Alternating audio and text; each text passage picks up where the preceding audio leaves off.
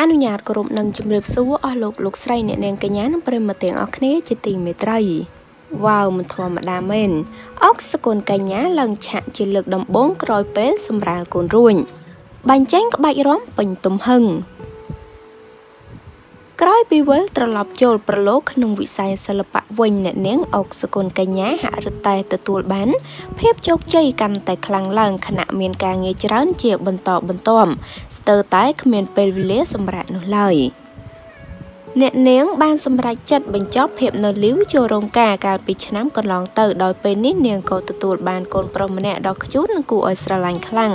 ទុកជាចំណងដៃផងដែរមិនត្រឹមតែប៉ុណ្ណោះបន្ទាប់ពីរៀបការរួចឃើញថៃជីវិតគ្រួសារនាងកាន់តែមានសុភមង្គលខ្លាំងពីមួយថ្ងៃទៅមួយថ្ងៃ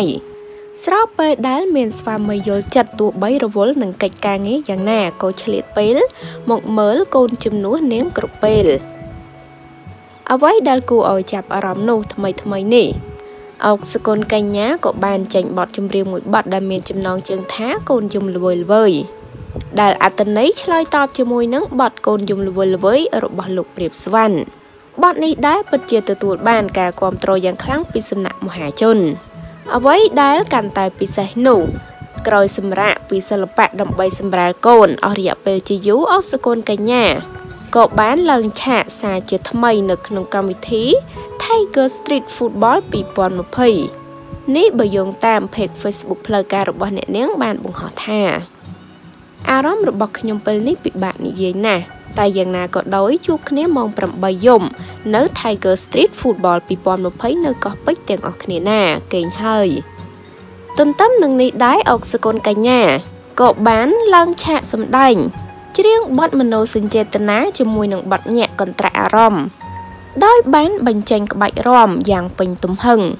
ហាក់បីដូចជាមិនមែនជាអ្នកសរសើរខ្ចីអញ្ចឹង នៅតែបញ្ចេញក្បាច់រាំយ៉ាងអស់ដៃជាពិសេសនោះសម្លៀកបំពាក់ដូចជាច្រើនឈុតថែមទៀតផង ចាក្រោយពីសម្រាប់ពីសិល្បៈជាច្រើនខែនោះពេលនេះអុកសគុណកញ្ញាបានឡើងឆាកសារជាថ្មីហើយ ម្ដងនេះគឺឡើងមកជាមួយនឹងក្បាច់រាំយ៉ាងរស់រវើងជាមួយនឹងសម្លៀកបំពាក់បដូរជាច្រើនឈុតថែមទៀតផង គឺពិតជាធ្វើឲ្យទស្សនិកជនភ្ញាក់ផ្អើលខ្លាំងមែនទែន ចាបងប្អូនប្រកាសជាចង់ទស្សនាវីដេអូបកស្រាយចម្រៀងរបស់អុកសគុណកញ្ញាហើយបងប្អូនអាចចូលទៅក្នុង description ចុចនៅលើ link ដែលនាងខ្ញុំបានដាក់ជូនបងប្អូនទាំងអស់គ្នាជាការស្រឡាញ់ចាហើយតកតងនឹងព័ត៌មាននេះដែរក៏សូមបញ្ចប់តែត្រឹមនេះអរគុណបងប្អូនទាំងអស់គ្នាសូមចុច Subscribe និងរូបកណ្ដឹងដើម្បីទទួលបានព័ត៌មានថ្មីៗជាបន្តទៀតសូមអរគុណសូមគោរពលា